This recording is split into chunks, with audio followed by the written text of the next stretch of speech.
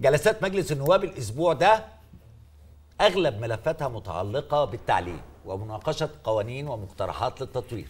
النهارده المجلس شهد انتقاد شديد من قبل بعض النواب لمعالي الدكتور طارق شوقي وزير التربية والتعليم بسبب اعتذاره عن إنه مش هيقدر يروح الجلسة بعد بكرة يوم الثلاث اللي كان هيتم فيها مناقشة 69 طلب احاطه إحاطة موجهين للوزير وده لارتباطه بالزيارة للإمارات لحضور مؤتمر علمي في التوقيت ده. ودي تعتبر المرة الثانية اللي بيعتذر فيها الدكتور طارق شوقي بعد ما اعتذر الأسبوع الماضي. بعض النواب غضبوا وقالوا إن الوزير آه، مش عايز يجي. المجلس آه، كمان النهارده وافق من حيث المبدأ على مشروع بتعديل بعض أحكام قانون هيئة ضمان جودة التعليم. ماذا دار في البرلمان اليوم؟ ولماذا كانت هناك اعتراضات ومنها النائب البرلماني المعروف ضياء الدين داوود؟ نذهب إليه مباشرة لنعرف مساء الخير سيادة النائب.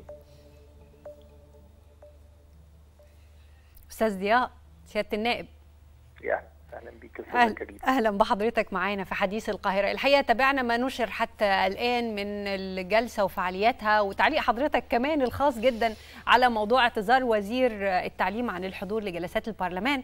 اولا ممكن حضرتك تدينا بس يعني فكرة عن ما دار النهارده في الجلسات وليه كان حالة الغضب دي موجودة تجاه وزير التعليم؟ يعني أنا رأيي وتقديري أن هناك علاقه مضطربه حاليا ما بين البرلمان والحكومة عموما ووزارة التعليم وإحنا هنا ما بنتكلمش عن شخص الوزير انما بنتكلم على سياسة وزارة في مواجهة السلطة التشريعية صاحبة الدور الرقابي على تقويم وتصويب أداء الحكومة على اعتبار هي من تضع السياسة العليا للدولة والتي تلزم الحكومة بتنفيذها. فلما نكون أمام أزمات متوالية هذه الازمات تبدأ بحالة غاضبة في الرأي العام على بعض مناهج التعليم التي تم تطويرها. وبالمناسبه لا يوجد أحد في مصر لا ولي أمر ولا نائب ولا مواطن عادي ولا فلاح ولا عامل مش مع تطوير التعليم. ولكن إحنا مع منطقية تطوير التعليم مع جهوزية تطوير التعليم مع معلم قادر ومتلقي جيد للمنظومة التعليمية الجديدة وقادر إن هو ينقلها للطلاب. مع فصول بكثافات تستوعب أعداد من الطلاب تمكنهم من فهم جيد لهذه المناهج الجديدة. مع مرتبات تتناسب مع الجهد المطلوب من هذا المعلم وهنا يقع العبء كمان على البرلمان بإنه يوفر بنود في الموازنة وتدفقات نقدية تقدر إن هي توفي كل هذه الاعتمادات. صحيح. لما نكون بنستخدم أدواتنا الرقابية ديت ومن أسبوعين مضوا ويستدعى الوزير للجنة التعليم وإحنا مش أعضاء في لجنة التعليم أنا عضو في لجنة الشؤون الدستورية والتشريعية. أيوة. ولكن اهتمامنا بالملفات بتخلينا ننتقل حيثما تكون أهمية الموضع. لجنة صحة لجنة تعليم لجنة كل نقل ومواصلات على حسب طبيعة الملف المعروض. فشأننا شأن نواب قصر تقدمنا طلبات منها مناهج الصف الرابع الابتدائي وطولها وصعوبتها وعدم جهوزيه المعلمين لتدريسها إلى آخر كل هذا اللي سمعته مصر كلها. ويغيب الوزير ولا يحضر نائب الوزير بأي رد ولا يحضر القائمين على تنفيذ هذا المشروع لتطوير المناهج. الوزارة مش طارق شوقي ولا طارق شوقي هو الوزارة. ولا يمكن أن تتماهى سلطة التعليم في شخص ده لابد إن في لجان علمية قائمة على هذا المنهج وعلى هذا التطوير ولابد إن يكون في مناقشات حوالين المسالب اللي طالت هذا التطبيق ما هي في مشكلة يا أستاذ ضياء انه إنه يبعت حد فتقول إن الوزير أكمل لك. اركن كل ده ده اللي كان من أسبوعين. أيوه النهارده في قانون وقف من سنة 2018 تعديلات على هيئة الجودة. أيوه في داخل حضرتك أصلك سمعت إن إحنا عندنا في التعليم هيئة للجودة؟ أنا عارف إنها موجودة بس على الورق يعني. موجودة. فعاليتها إيه؟ هو حسب ما حضراتكم نشرتوا 15% في 13 سنة من أهدافها بس هم اللي تم تحقيقهم يعني وده يعني رقم يعني ضئيل جدا. اسمها حضرتك ترجمتها عندنا في البرلمان النتائج الصفرية. مم. لما تيجي أنت عايز إن أنت بقى تمنح تطويرا على هذه المنظومة مش الأول تيجي تقدم كشف حساب تقول أنا فشلت ليه؟ ولا تجيب شوية جمل مطاطة في نصوص يتضمن من داخلها فرض الرسوم على المنشآت التعليمية والتدريبية سواء كانت جامعية أو آه، تعليم حكومي. سيان بقى سواء هتوفرها الموازنة كان بيدي النهاردة وزير المالية زي ما إحنا طلبنا وطلبنا إن مناقشة قانون بهذا الحجم كان لابد إن يبقى رئيس الحكومة وزير المالية وزيره التخطيط وزير التعليم قاعدين. هل وزير التعليم لما يستدعى المؤتمر في الائتمارات وعندما يستدعيه الشعب لا يعتذر عنه ويذهب للدعوة الخارجية؟ هل ده منطق؟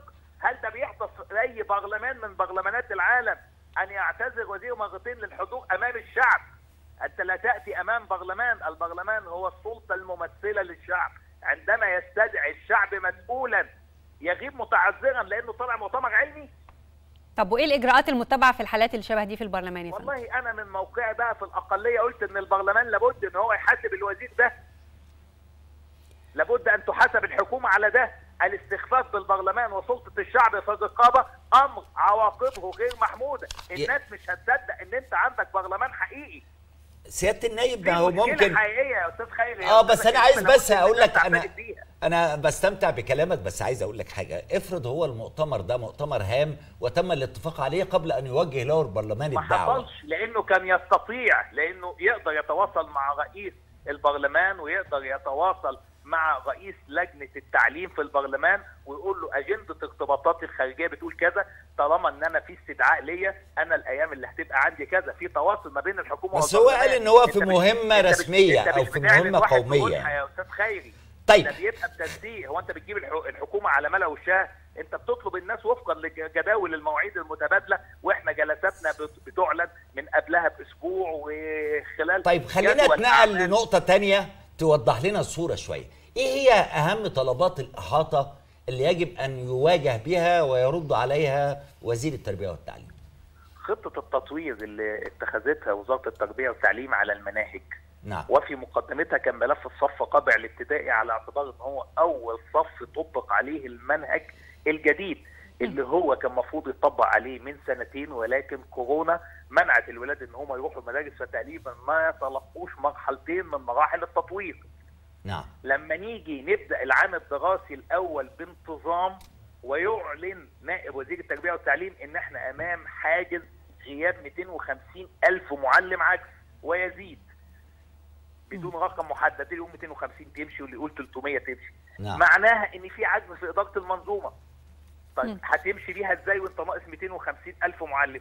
تقول هستعين بمعلمين وتهينهم بقى. ده اصله مش معلم ده أنا جايبه متطوع. ولادك اللي هيصنع جيل جديد في البلد دي بمناهج جديدة متطوعين حصتهم ب 20 جنيه؟ مم. ولا هيتحولوا لمقاولين أنفار يسحبوا العيال ديت على الدروس الخصوصية اللي حاليا كل أسرة في مصر 80% من دخلها رايح للدروس الخصوصية. لأن المدرس في الفصل غير مدرب على هذا المنهج. مم. إحنا مش بيتك وبيتي وبيت أخوك وبيت اللي بيسمعونا دول عارفين ده زي ما الليل والنهار كده متشافين. اللي أنا بحكيه لك ده أنا ما ابتدعش ولا بجيب كلام من خيالي. ده نعم. واقع المصريين عايشينه وبيئنوا منه. وإلا كانت كلماتنا النهارده ما لقتش هذا الصدى في طول مصر وعرضها هو إحنا مش نتمنى إن إحنا نمتلك منظومة تعليمية حقيقية جيدة تبني جيل حقيقي؟ طبعاً. أكيد أكيد. أكيد يعني هو أكيد ح- الكلام اللي حضرتك طرحته ده يكن إن إحنا ندفس راسنا في الرمال كلنا عام أمر مش مقبول. لا ولا يليق بمشروع مصر القومي. يعني إحنا بنتكلم على إن إحنا بنبني مصر المستقبل وأهم عنصرين فيها التعليم والصحة كما يذكر دائما. يعني اسمح لي. أستاذ ضياء النقاط العنصرين اللي هتقف عليهم أي بلد. صحيح. النقاط اللي حضرتك طرحتها معانا حتى الأسئلة اللي هي أسئلة الناس العادية في البيوت اللي من المفترض إنها مطروحة في طلبات الإحاطة. إحنا هننتظر ما تتكشف عنه الأيام اللي جاية وهنتابع أكيد مع تدريبك حضراتكم للمعلمين إيه؟ صحيح. هتدرب الناس ديت إزاي؟ مين. اللي جاهز إنه يدرب المناهج ديت؟ إزاي المناهج ديت هتتقسم على سنوات يقدر الولد يستوعبها؟ إحنا في انتظار إجابات مع المادة الواحدة حضراتكم 8 يونت أستاذ ضياء. 350 صفحة باللغة الإنجليزية لا مدرس قادر يستوعب ولا أمهات في البيوت قادرين يستوعبوا مع ضغط توقيتات رهيبة على الكل ده عامل تفكك أسري عامل تفسخ في اركان المجتمع إحنا ما بنبالغش وإحنا بنقول هذا الكلام طيب آه، أستاذ ضياء سيادة النايب عضو لجنه التش... نائب رئيس اللجنة التشريعية والدستورية في البرلمان. إحنا بنشكرك جدا. آه، ب- سيادة النائب آه، غضبان ومتضايق وهو ده دور آه، البرلمان.